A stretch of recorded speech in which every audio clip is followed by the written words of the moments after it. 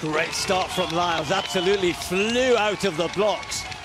And if the others were with him, they'd be thinking he's running away from us already here.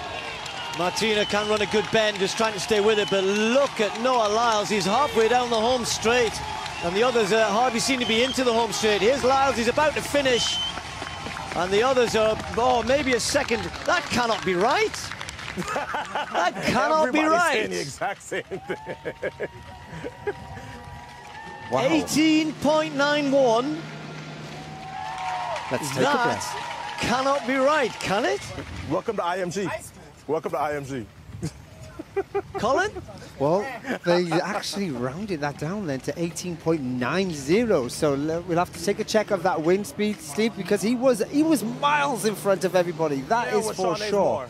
But 18.9, that would take nearly three meters off the time Oh, that come talk Usain me Bolt that. runs He- 200 I- meters. you know, the- okay, first of all, the other two were miles behind. Okay, so he's run fast. He's run very, very fast. But under 19 seconds, we know it's windy. We know there's a bit of a breeze. We're waiting to try and get some confirmation of what that is. But he started in blistering pace and never stopped. He just kept foot to the floor all of the way. So whatever the wind reading is here, that was a phenomenal performance. And he's wondering.